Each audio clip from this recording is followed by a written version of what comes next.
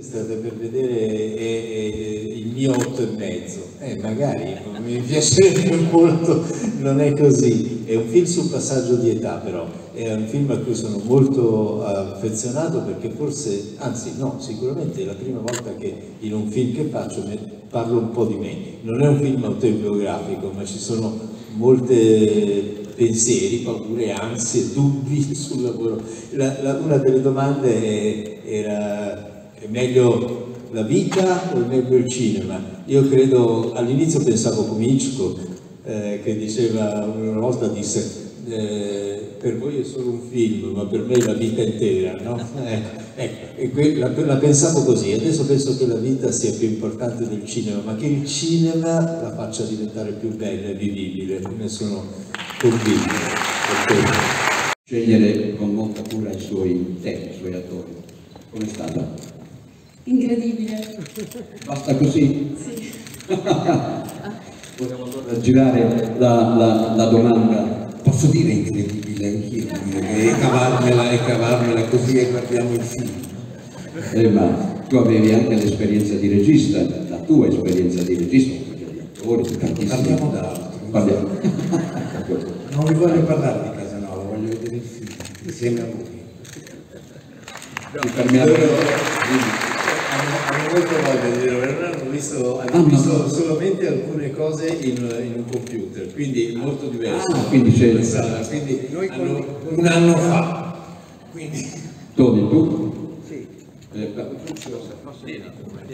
Lo dico, condividiamo l'emozione della platea stasera, perché anche noi vediamo per la prima volta il film sul grande schermo e quindi non, non vediamo l'ora di vederlo. Eh, io sono venuto tante volte, ho recitato qui eh, Edoardo De Filippo e altre pièce qui al, al PC, mi sento veramente a casa a Bari, una città a cui sono molto molto affezionato. Eh, no, la raccomandazione che volevo fare, poi andiamo subito a vedere il film, è che se vi piace parlatene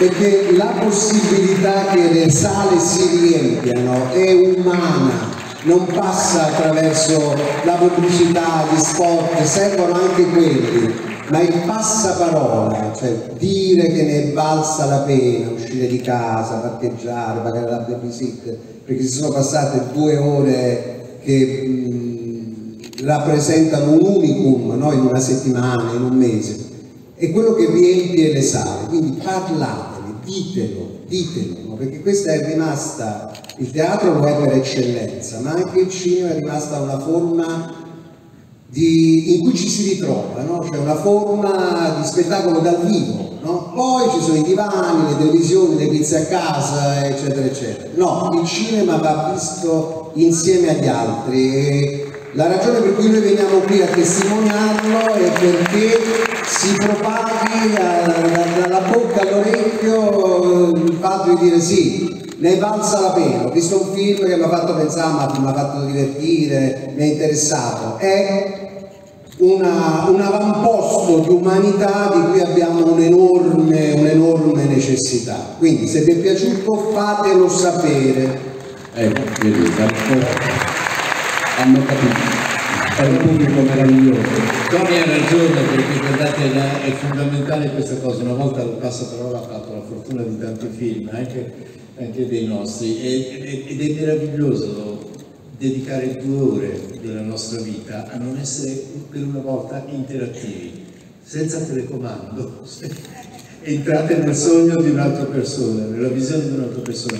L'interattività che vi si chiede è del cuore e del mente. Grazie, grazie. Buona visione allora. Buona visione.